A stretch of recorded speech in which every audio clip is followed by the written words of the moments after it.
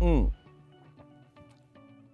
Digo que tengo emociones encontradas y ideas revueltas para compartir con ustedes este café caliente. Porque este café caliente va dividido en dos partes. La primera parte y la otra no sé si se llegará a enfriar. La primera es recordar que hoy, 30 de abril, pero del año 2019, nos montaron a los venezolanos, a los que viven dentro y a los que vivimos afuera, una payasada de insurrección militar que no sirvió para nada. Bueno, sí, sirvió para que Leopoldo López saliera libre, sirvió para que Cristo Figuera eh, se lavara la cara después de haber sido director de un ente torturador y a la par para que se infiltrara aquí la gente crea que sigue siendo opositor. Sirvió para darnos cuenta que ellos manejaban el asunto como mejor les daba la gana. A ellos me refiero a Leopoldo López y su combo. Sirvió para demostrar que a Juan Guaidó lo manejaba Leopoldo como le daba la gana y por eso lo convirtió en un ánima en pena política, teniendo ese muchacho todas las oportunidades de liderazgo que el autobús le pasó dos veces, tres veces, cuatro veces y él se bajaba o Leopoldo lo empujaba. Miren ahí, ¿cuál de los dos tiene cara de presidente? Ese 30 de abril sirvió para atornillar más al régimen. Ese 30 de abril sirvió para que Michael Moreno, Vladimir Padrino López y Christopher Figuera, reitero, se burlaran de la comunidad internacional y de los venezolanos. También porque siempre hay un buen pretexto para que el régimen involucre, involucre gente y los metan presos. Y es que definitivamente la historia ha demostrado que con esos tipos, me refiero con esos militares al estilo Christopher Figuera, Vladimir Padrino López, no solamente no se cuentan, sino que ni un golpe de Estado. Y no son los golpes los que van a salvar el país. No son las insurrecciones militares las que van a salvar el país porque una insurrección militar es la que nos ha llevado a este, a este país que es hoy Venezuela. Porque una insurrección militar es la que convirtió a Venezuela en eso lo que la han convertido estos delincuentes que hoy la gobiernan. Donde un tipo de dudoso lugar de nacimiento tiene los riñones de ponerse uniforme, con charreteras y todo. Y no hay un solo alma en la Fuerza Armada que diga, señor, no se ponga eso porque usted es comandante en jefe por la Constitución no porque tiene formación militar, pero no hay quien lo diga.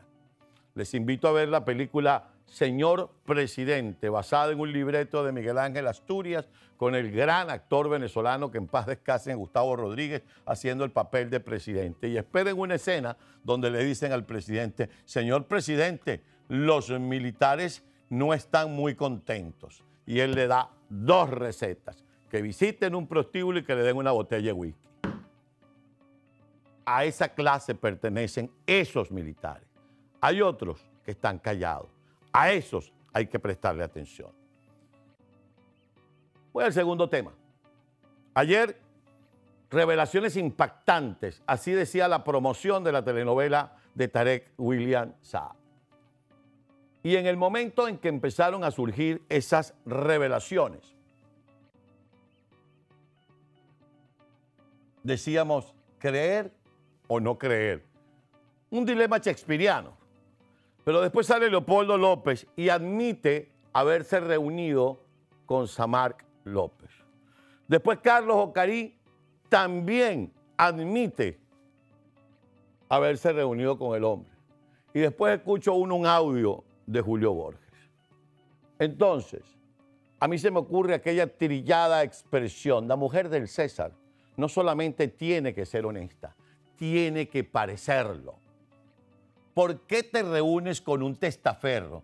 No, perdón, yo no me como el cuento que estabas buscando la libertad de Venezuela reuniéndote con un testaferro. ¿O es que el testaferro tenía en sus manos la posibilidad de elecciones libres o de un cambio de gobierno?